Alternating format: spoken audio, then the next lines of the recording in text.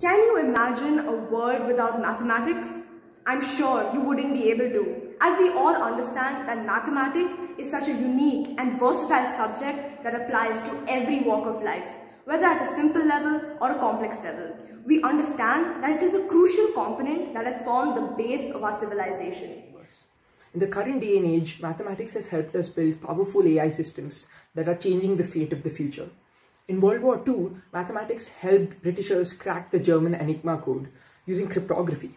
In the ancient times, Euclid, Pythagoras, and other famous mathematicians were discovering the works of the nature using irrational numbers like the golden ratio.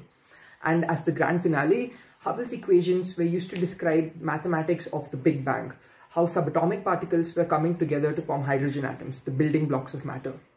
It is imperative that on Pi Day 2024, we recognize the voluminous contribution mathematics has had in the development of the human species.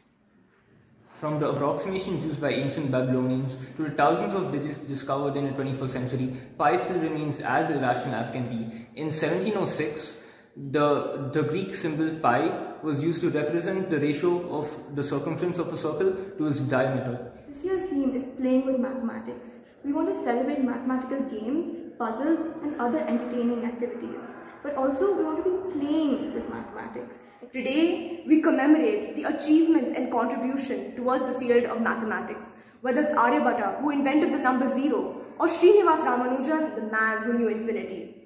Today, we understand the significance of mathematics and how deeply rooted it is in our everyday lives.